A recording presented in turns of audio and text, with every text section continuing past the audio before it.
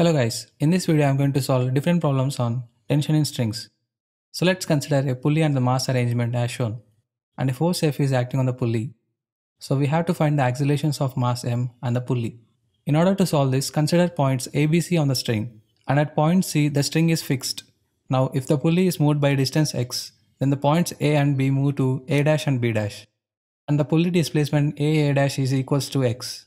And since we know the string length is constant, we can write CAB equal to CA dash B dash, which can be written as AB equal to 2AA dash plus AB dash. And if we solve it further, we will get BB dash equal to 2AA dash, which is equals to 2x. So the mass m moves double the distance of pulley. Thus, if A is the acceleration of mass m, then A by 2 is the acceleration of pulley. Now if we take free body diagram of pulley, we get F is equals to 2t. And since the tension is the force acting on mass, T is equals to ma.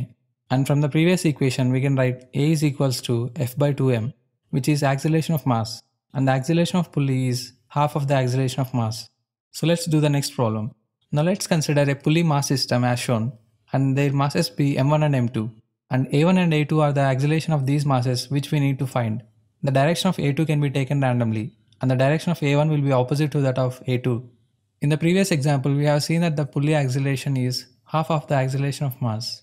So here also it is the same case. Here A1 is equals to A2 by 2 and T is the tension in the main string and the forces acting on the pulley are due to the weight forces. Now let's take free body diagram of first pulley and let T2 is the tension in the string supporting the mass M1. Then we can write T2 is equals to 2 into T and let's consider the forces acting on M1. So the net force acting on M1 is T2 minus M1G which is equals to M1A and now put T2 is equals to 2T and a1 is equals to a2 by 2. Then we will get this equation.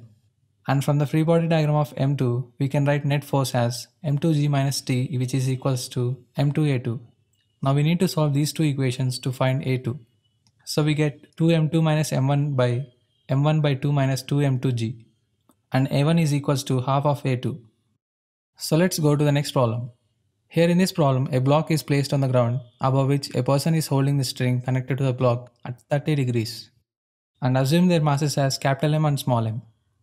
If mu is the coefficient of friction between all the surfaces, then what is the maximum tension the person can exert so that the entire system will be in equilibrium. Now let's write the tension forces acting on the masses. And let's take the free body diagram of the person and mention all the forces acting on the person. Here the frictional force between the person and the block is taken as F1 now for the equilibrium state, the net force acting on the person should be 0. So sigma fx is equals to 0 which gives mu n1 equal to t cos 30 and sigma fy is equals to 0 which gives n1 is equals to mg minus t sin 30. Now solve these two equations we will get t is equals to mu mg by cos 30 plus mu sin 30. So this tension force is the maximum tension for the person to remain stationary. But we should also check the maximum tension at which the block will remain stationary. So mention all the forces acting on the block and take sigma Fy is equals to 0.